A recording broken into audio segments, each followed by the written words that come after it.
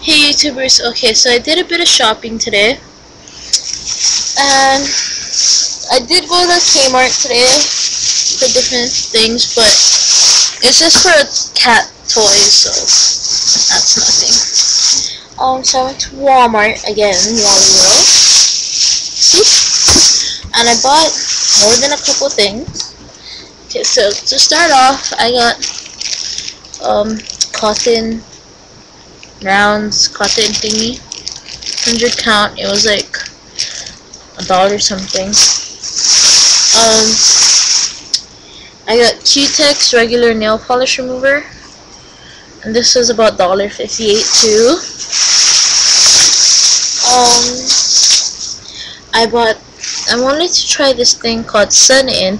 People said for my hair it would turn it orange, but it's worth a shot. So, this is what it looks like. I got the original one. There's only lemon more this, but I stick to original, and I should try it pretty soon. Um,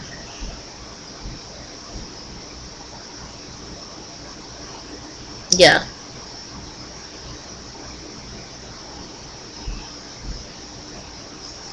Sorry, but yeah, this is like three dollars something. Sorry, I don't have the prices for it, but yeah.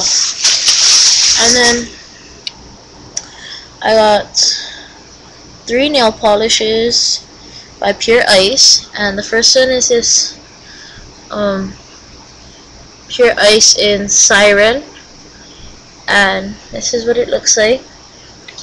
And it was two dollars. And then I got Pure Ice in Excuse Me, and it's a yellow color.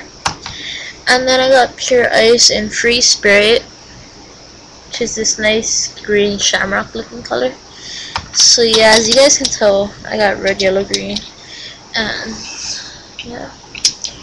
So I'm gonna try all these products that will, besides the this and this because it's obviously obvious how it's gonna work. But yes. So, yep. Thanks for watching my videos. Bye.